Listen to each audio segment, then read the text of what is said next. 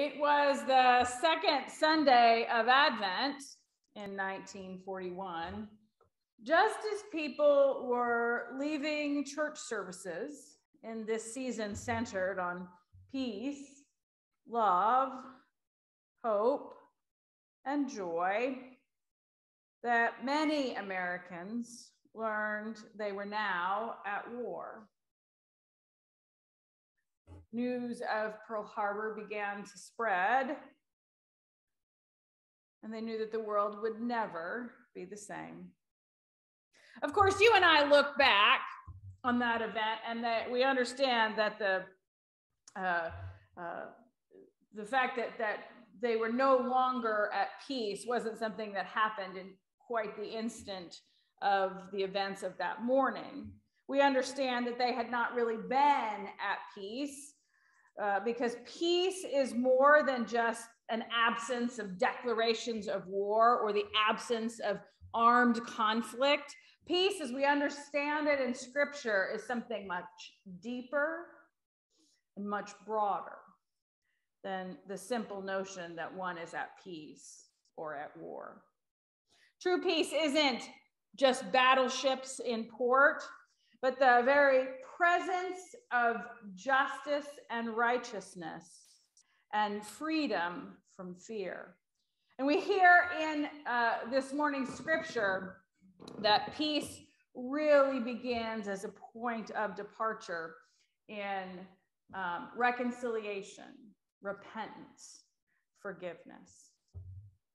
Last Sunday, we contemplated Christian hope. And this Sunday, the second Sunday of Advent, we consider what it means to be people of peace. And we do so by looking to what's called the Canticle of Zechariah, what Makita read for us this morning. It's also known as the Benedictus.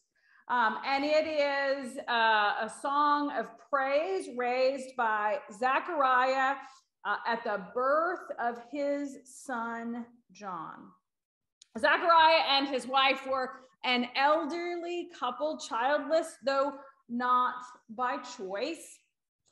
And uh, Zachariah was a priest and following out his uh, priestly duties when he had a visitation that informed him his wife was to bear a child. Now, this seemed so sketch to Zachariah that he did not believe such a thing were possible. Indeed, no one would have. Um, and in his skepticism, he was made mute. It's not until after the birth and naming of his child that his tongue is freed, and his first words are this hymn of praise, this song of joy. And in that song, we are uh, taught, we are instructed about what the work and life and role of the person we now come to know as John the Baptist will be. He will set the stage, prepare the way, lay the groundwork for all that Jesus will do as the Savior. By the tender of by the tender mercy of God, we will be given light, those of us who sit in darkness and in the shadow of death. And John will guide our feet into the way of peace. Peace is an important theme and idea in Luke's gospel. He uses it far more than any of the other gospel writers. You, Luke uses the word peace 13 times in the gospel of Luke and six times in the book of Acts. Just, just for comparison's sake, so you understand how much more amplified this um, uh, uh idea is for Luke. Ma- Matthew uses it three times, Mark uses it two times, John uses it five times. So we're talking, you know, a magnitude more focus and concentration for Luke on what it means to be a people of peace and how the life of Jesus can lead us into a life of peace and, and, and help us be a part of the work of peace. What we learn in this canticle and in the work of John the Baptist is that um, peace is born out of repentance, forgiveness, and reconciliation. Reconciliation with God and with one another. The absence of peace then involves distance and a breakdown in relationships. The absence of peace is somehow grounded in our inability to recognize our own wrongs and to find the means to forgive the wrongs of one another.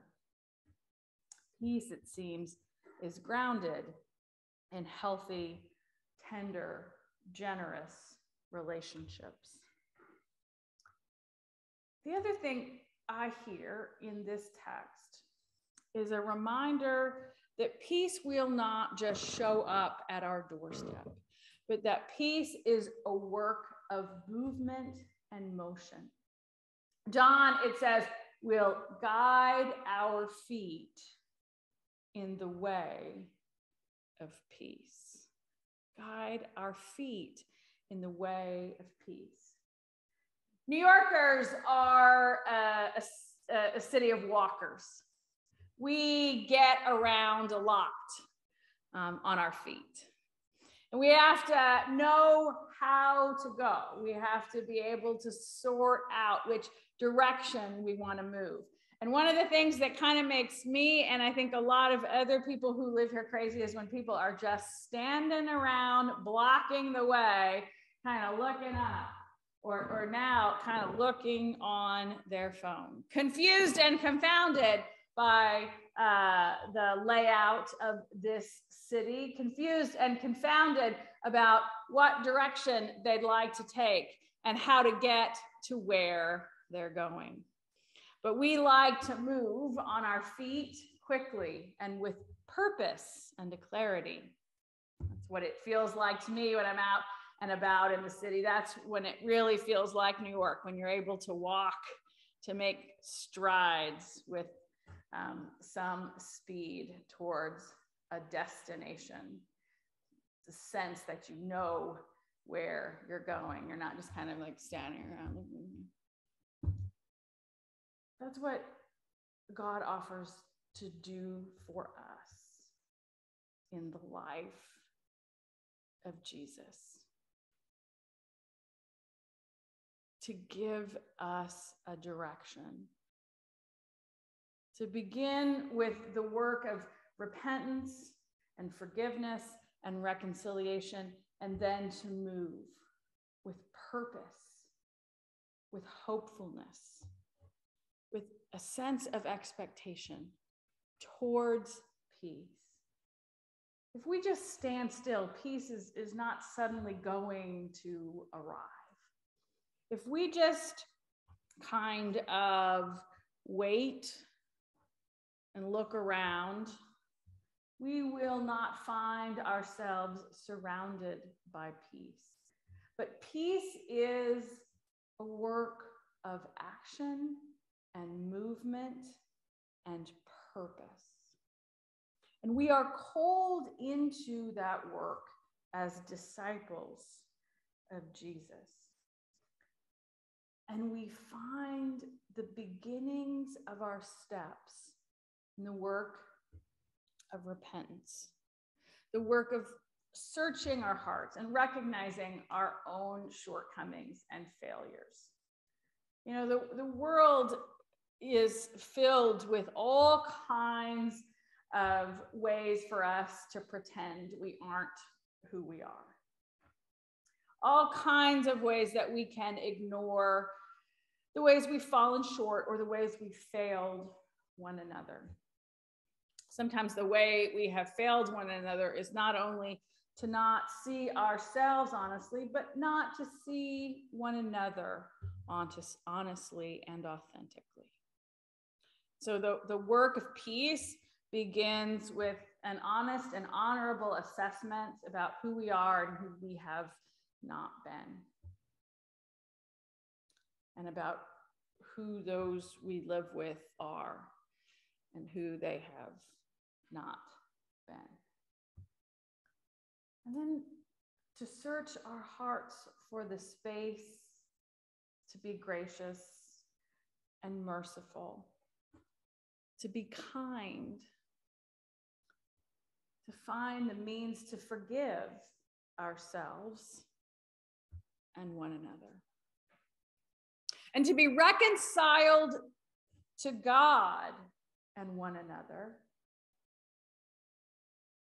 with the expectation that that will help lead us in to peace. That will create for us a space in which we can be people of peace, working together to create a world full of peace, not, not simply a world where we're not outwardly fighting, not simply a world where all of our resources and energy go into defense and arms, but a world where we can live side by side with those who are very different than us without fear. For that is one of the pieces of this text this morning the assumption that we might be able to serve the Lord in peace without fear, that that would create the space for holiness and righteousness.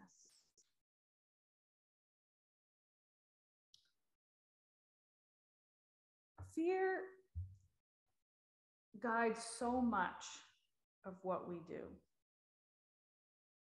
fear of one another, fear of what we don't have, fear of who we might find ourselves to be if we stopped being busy for a brief moment. And so we acquire and we get busy. And the ironic thing about all this is, of course, there's no time where we acquire and get real, real busy more than in these days when we're supposed to be centered on peace.